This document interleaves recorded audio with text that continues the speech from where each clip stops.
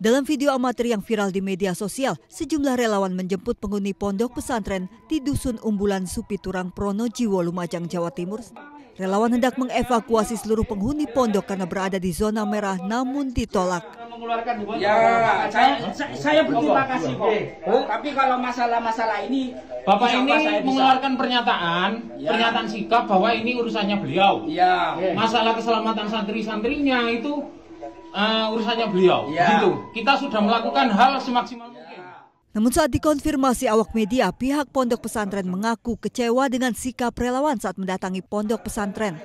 Menurutnya relawan datang dengan cara memaksa padahal pihak ponpes sudah menyiapkan kendaraan roda 4 untuk evakuasi mandiri.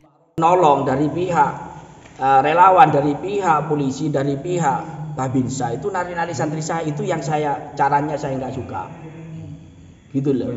Jadi permasalahannya itu kalau memangnya saya sudah menyiapkan mas menyiapkan bukannya saya menolak saya menyiapkan itu backup.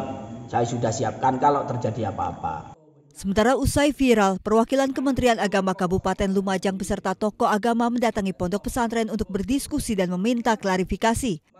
Pihak pondok pesantren akan melakukan evakuasi jika diminta. Dari Lumajang, Jawa Timur, Saif Hajarani, Ainus melaporkan.